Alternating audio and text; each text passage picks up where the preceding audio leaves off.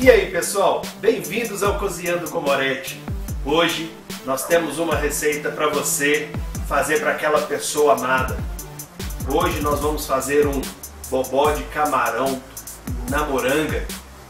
Vamos à nossa receita? Então pessoal, iniciando a nossa receita, nós vamos pegar duas morangas pequenas, limpando todo o seu interior das das sementes. Nós vamos fazer para duas pessoas, porque é um jantar especial para a pessoa amada.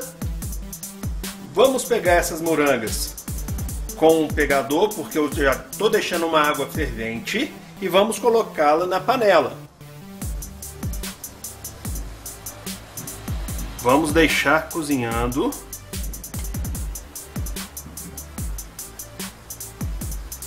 durante aproximadamente, pessoal, 15 a 20 minutos, ok?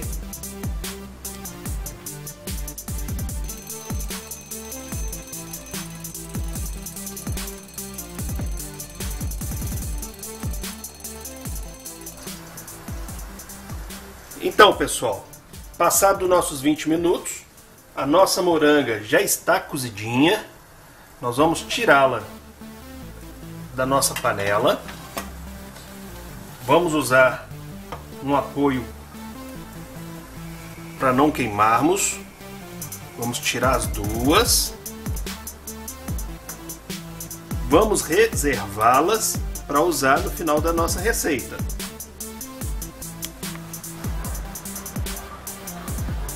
Então, pessoal, aqui nós vamos usar 500 gramas de camarão cinza eles já estão limpos.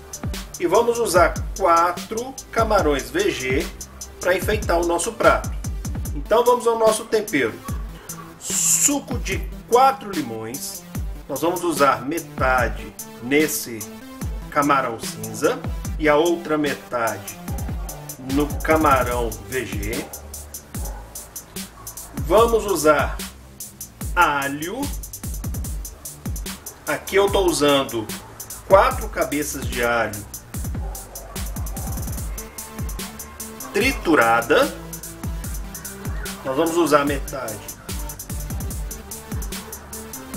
em um no camarão cinza e o restante no camarão VG, sempre temperando os dois separadamente, porque o camarão VG nós vamos deixá-lo marinando mais tempo que o nosso camarão cinza. Vamos colocar sal a gosto.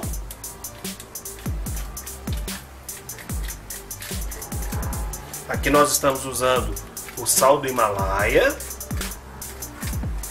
Eu estou triturando ele na hora. Sempre a gosto, tá, pessoal? Agora, no nosso camarão VG também, a gosto. Esse camarão é muito bonito e ele está muito carnudo. Agora, pessoal, vamos usar pimenta do reino triturada, também a gosto, tá, pessoal? Porque tem pessoas que não pode com pimenta, então não é necessária a utilização. Agora no VG também. Isso para dar um sabor diferenciado no nosso camarão. Agora vamos mexer com as mãos, misturar o nosso tempero.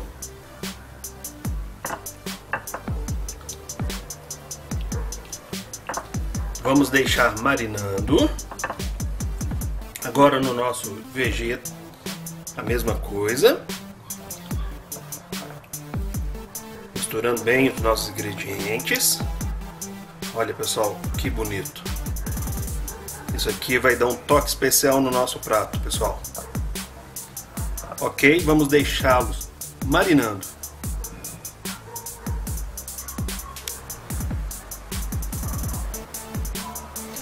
Então, pessoal, agora nós vamos na utilização da nossa mandioca.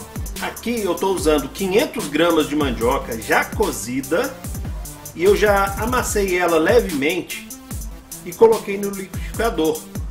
Agora o que nós vamos fazer com essa mandioca? Nós vamos acrescentar 200 ml de leite de coco e vamos bater no liquidificador. Que isso aqui vai ser a nossa massa que vai dar engrossar o nosso bobó de camarão, ok?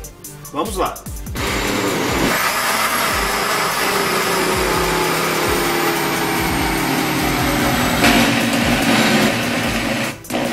Então, pessoal, finalizamos a, a nossa parte da mandioca.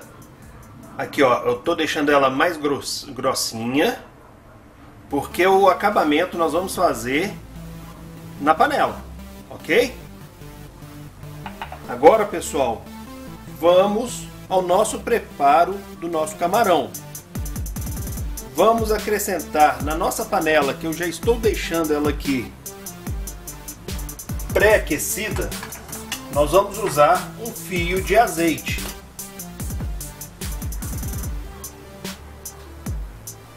Vamos deixar esse fio de azeite aquecer um pouquinho.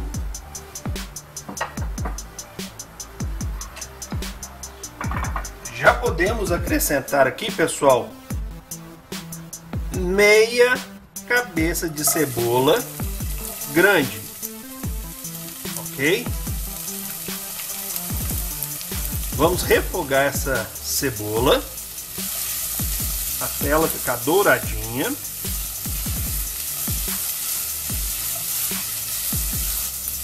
Vamos deixá-la douradinha.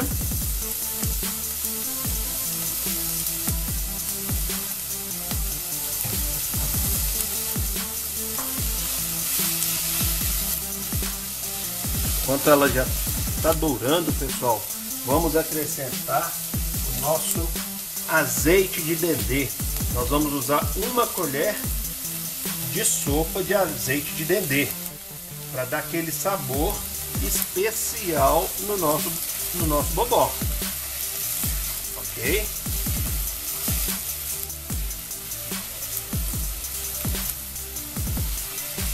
Olha pessoal, que maravilha. Agora, pessoal, a nossa cebola já está bem douradinha, já com o nosso azeite de dendê. Vamos acrescentar os nossos camarões, ok? Que nós já estávamos deixando marinando. Agora vamos dourá-los também.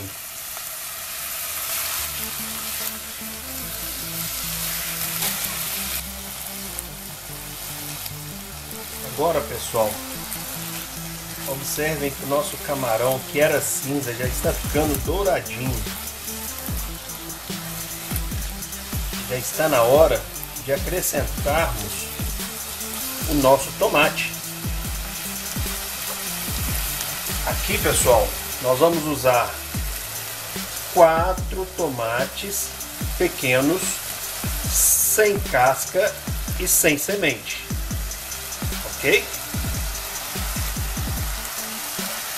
Pessoal, o aroma que já está subindo dessa panela é inacreditável.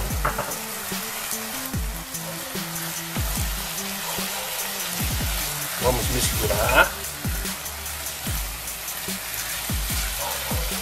Olha que maravilha, pessoal.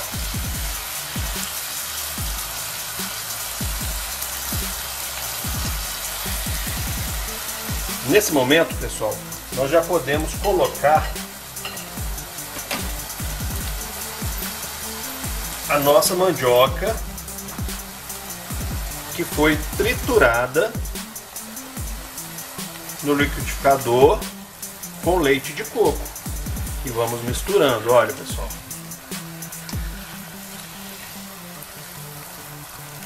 Olha que maravilha.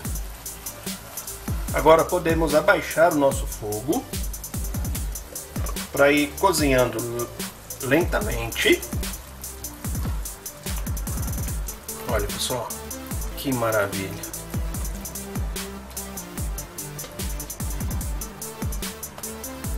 Olha pessoal, que molho.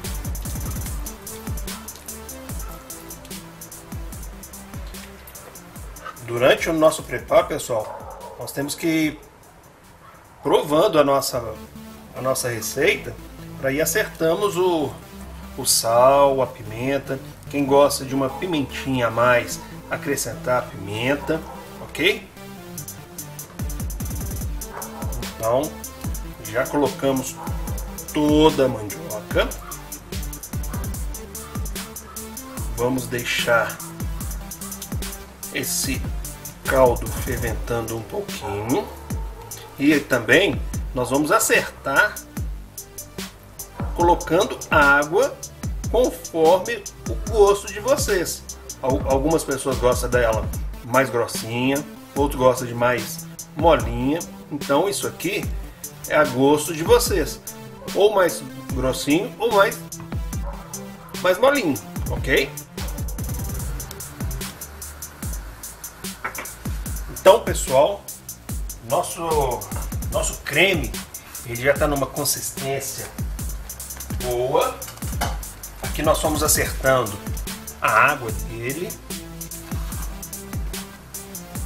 Olha que maravilha. Agora nós vamos acrescentar o nosso creme de leite. Esse creme de leite ajuda também na cremosidade do nosso bobó. Vamos misturar bem para que o creme de leite incorpore em toda o molho. Olha pessoal, que maravilha! Que maravilha! Agora pessoal, nós vamos acrescentar também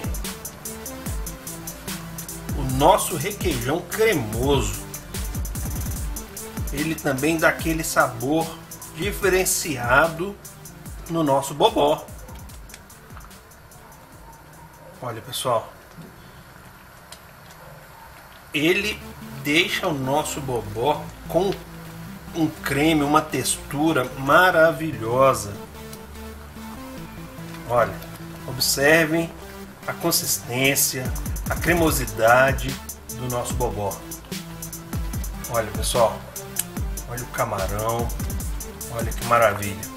Vamos deixar ferventar mais um pouco porque nós acrescentamos mais dois ingredientes e voltamos para continuar nossa receita.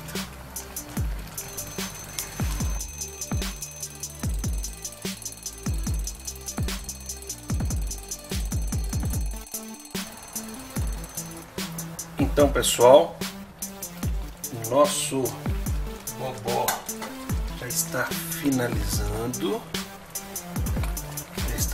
quase finalizado. Olha que, que cremosidade, consistência. Vamos acrescentar agora cebolinha a gosto. Cebolinha a gosto. Ok, pessoal? Vamos mexer.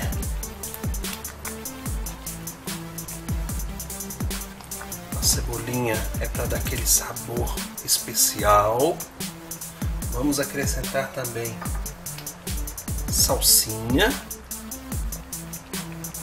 Também, pessoal, é a gosto. Você também pode acrescentar coentro, o, o cheiro verde que, da sua preferência, ok?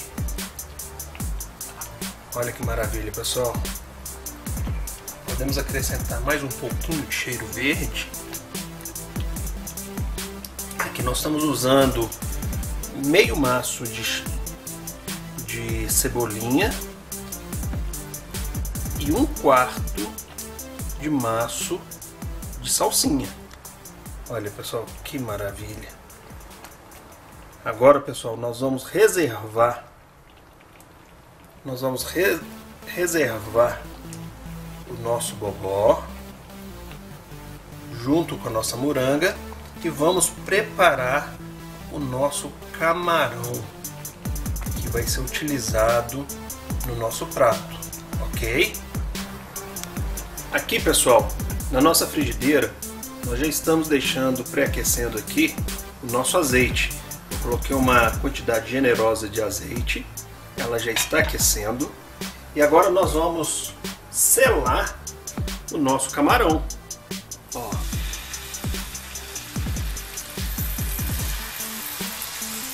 Esse camarão nós vamos utilizá-lo no preparo do nosso prato.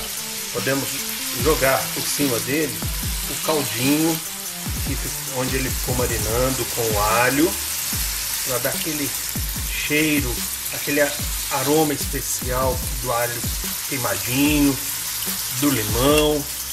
Ok, pessoal?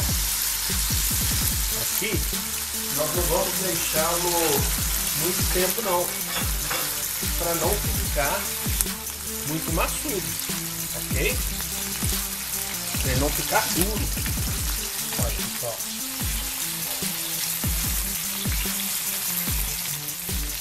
Olha como ele já está ficando rosadinho.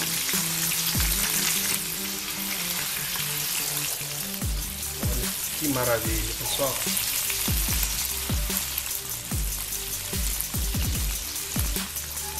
Olha que maravilha. Nós vamos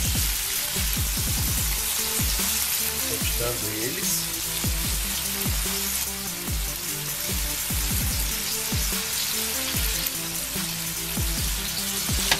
ele fica numa cor ideal para prepararmos o nosso prato.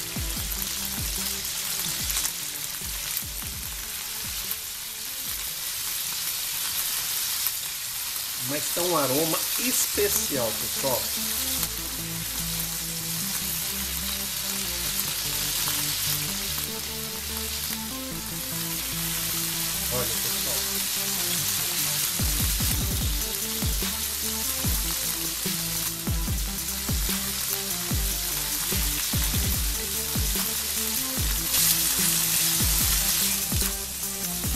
Então pessoal, vamos dar a nossa última salteada nos nossos camarões. Olha pessoal, que maravilha, que qualidade de camarão. Olha como que ele está carnudo, olha. Que maravilha pessoal. Agora nós vamos reservá-lo e quando voltarmos vamos voltar preparando o nosso prato, ok? Então pessoal, a nossa abóbora cozidinha, um pão italiano para nosso acompanhamento e vamos rechear a nossa abóbora. Olha pessoal, que maravilha, os camarões. Olha pessoal, que maravilha. Aquele jantar com a pessoa amada, pessoal. Que maravilha, hein? Agora pessoal, nosso toque final com os nossos camarões. Olha pessoal. Olha pessoal. Que delícia.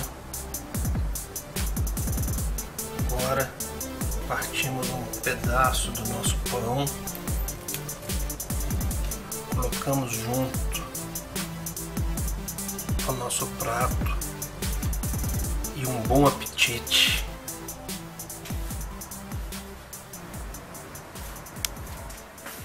Então pessoal, espero que tenham gostado da nossa receita. Fica essa dica aí para aquele jantar com a pessoa amada. E eu tenho certeza que ela vai gostar. Ah, e lembrando, estamos no YouTube, inscreva-se, compartilhe os nossos vídeos. Estamos no Facebook, no Instagram, no Twitter. E vamos com a gente lá curtindo a cada dia os nossos vídeos. Obrigado e até mais!